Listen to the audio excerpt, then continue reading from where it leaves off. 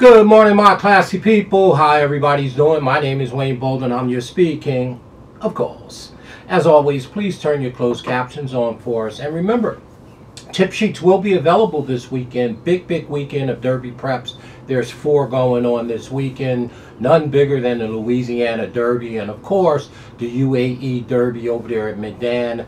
Uh, race course uh, overseas. And uh, we got the Jeff Ruby's uh, cranking of course, and of course Sunland Park on Sunday. So again, email me at speedking24 at yahoo.com if you want our all stakes tip sheets. They're 15 bucks. And of course, we have any full card of any one racetrack. Those are 20 bucks just by emailing us. And of course, I sent out about 80 or 90 free tip sheets last weekend to everybody that I could remember and in the, uh, you know, email uh, just as a love gift and thanking you so much. Um, I pay it forward all the time. So thank you. I hope you enjoyed and hopefully you made some money.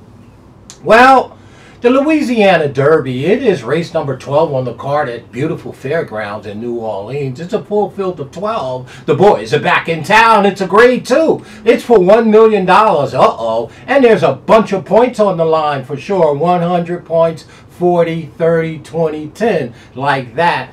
And I guess the first note is that instant coffee is in uh, the race, the number two horse, probably is going to be your favorite and probably should be your favorite. About two to one, five to two, I'm guessing. I don't see the morning line. It's Tuesday morning. It's Brad Cox and all his big head merry horses. And this is a very, very nice horse, you know. It's not going to be my top pick, but I want everybody to do know that he's probably the horse to beat. He currently has about 32 points to his credit, and he really doesn't really need to win the race. He probably hit the board uh, second or third and have more than enough points to get into the Derby. But to me, he's probably the horse to beat in here. But I'm going to turn my eyes, I'm going to be a little cute in here. I mean, there's a horse, or two horses in here that I'm kind of interested in. And the one is the number three horse, right outside of Instant Coffee, Curly Jack. No, he didn't just come up with Curly Jack. Well, again, I don't know why I lean towards these type of things once I handicap these races, but when I looked at Curly Jack, he has two wins from seven stars, two seconds for 422000 I mean, he's by good magic on the back end by Roman Ruler. It's that man, Mama Who, Tommy Amoss. I always think he's underrated, but he's awfully good at pushing the buttons from the trainer's booth. Now, the reason that I think Curly Jack is sitting on a race is here's the reason.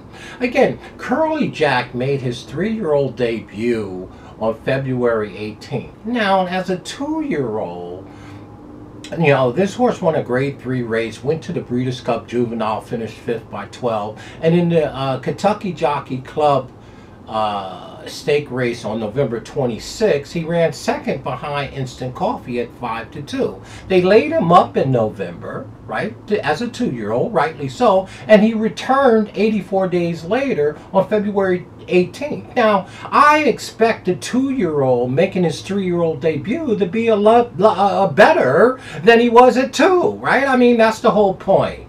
And again, to me, the, his return race, his three-year-old debut in the Grade 2 Risen Star, where Angel of Empire won and Sun Thunder, the number four horse in here, ran second. Hey, listen, and Two Phil's ran third. That's not that. I do not expect to see that race in the Risen Star on Curly Jack. And if anybody can tell me that they expect this horse to run that race, making his three-year-old debut off of that two-year-old line, I'll eat your hat. I don't buy it. I know the horse was bumped at the start. I said he had trouble, right? And he had Morales, that's Tom Amoss' boy in the arms. And again, the horse is coming in to the Louisiana Derby on an off race, which I always admire, right? But really, to be honest with you, I'm going to give him a chance to run big and run real big in here because I just don't buy his three-year-old debut. Okay, he was bumped at the start. He was a little wide here and there. I don't, that, that's just not right. Finishing 8th by 10th in the Risen Star. I'm not saying he should have won the race, but he should have been at least better than he was as a two-year-old. I'm going to give him a chance. He's going to be my top pick, or my 1 and 1A for sure. And then I'm going to bounce way, way outside in the 11 hole. No, he didn't just go out into the 11 hole. I did. Y'all know I hate to be outside the 8 hole because the enemy to horse racing is ground laws. Well, you can say what you want, but I tell you, Jack's uh, Jace Road Jace Road, the number 11. I'm going to tell you, just like Curly Jack, I'm not buying it, y'all. Two wins from five starts. The horse is bred like all get out by Quality Road that goes all the way back to Raise a Native, Native Dancer, and Mr. Prospector, you name it. I tell you, Jace Road is bred like all get out. And he's a, oh, he's a merry horse. It's Brad Cox horse. And I tell you right now, with Silver Deputy as the grandsire, very nice. Flo is back in the arms. The stable boy, that's right. The jock is back, flows back in the yards. But here's the skinny. Two wins from five starts for, hey, Jace's Road. Listen to this. Similar to Curly Jack.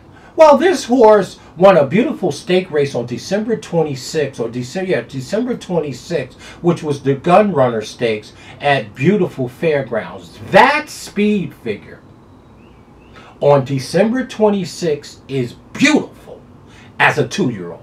They give the horse 20, 33 days. He comes back, make his three-year-old campaign, uh, camp, campaign uh, or debate three, on uh, January 28th in Oaklawn Park, right, in the Southwest sloppy racetrack and finished 5 by 12. He was 10 to 1 with my boy Joe Talamo up. That's the day that Arabian Knight ran out of the TV screen. And I think I like the uh, second place horse here, uh, Red Route 1, which was an Asmussen and Frosted Departure, who was a huge price. But I'm telling you now, I don't expect to see that race in the Southwest Stakes neither. 5 by 12 on Jace's Road. This horse, I, I, don't know if he just didn't like the track or if Joe um, Talamo had him wide. I know he was three wide early, five wide flattening out coming home, and now he's returning back to fairgrounds. Go look at the race on the 25th of de 26th of December, uh, the gun runner at fairgrounds. This horse earned a huge speed figure, y'all.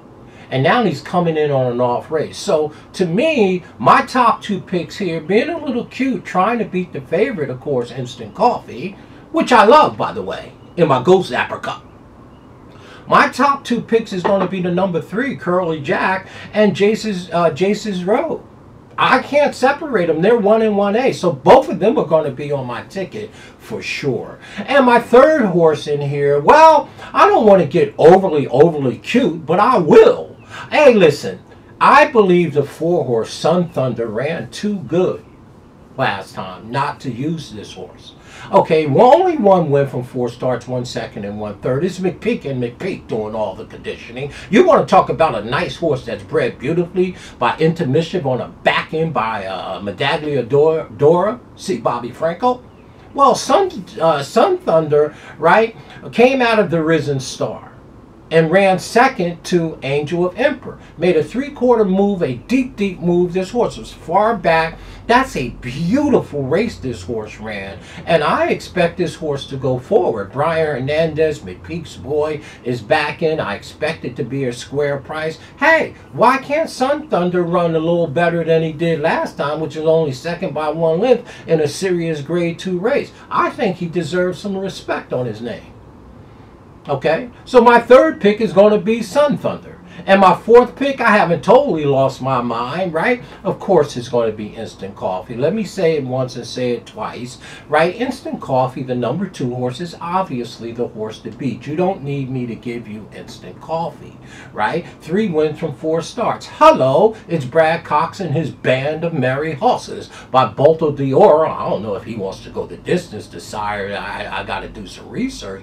But again, instant coffee, obviously, with my boy up Louis, Louis, Louis guy, Saez is in the yard, the best jock in the country, in my opinion, right? But again, Instant Coffee is clearly the horse to beat and already has 32, 34 points to his credit. Uh, if he hits the board uh, second, third, or fourth here, he'll be in the Derby. So we'll see. Maybe Brad Cox can get his other horse in here uh, Jace's Row. So my fourth pick is going to be Instant Coffee. I haven't totally lost my mind. With the understanding, don't send me a hundred emails. How could not pick Instant Coffee? Well, he's two to one. Obviously, Captain. Obviously, you don't need me to give you Instant Coffee. Obviously, he's a leading contender in the dirt uh, of the five ten horses in the Derby going in, and clearly the horse probably the beat in Louisiana Derby, and he probably could get beat in here. There are some other horses that can really run in here. So I'm going to give other three-year-olds a chance to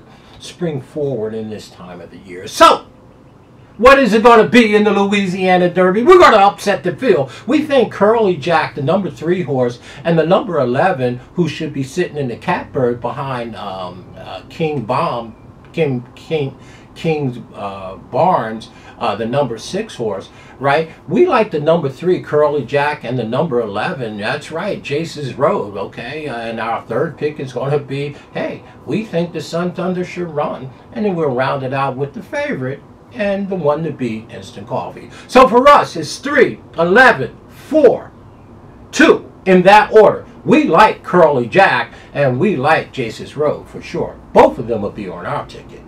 And we're going to keep our eye on the Sun Thunder. Trying to upset the race. Let's get by the big head favorite. My name is Wayne Bolden. I'm your Speed King. I'm having a bunch of fun. Curly Jack, Jace's Road. Let's take it down. Talk to y'all real soon.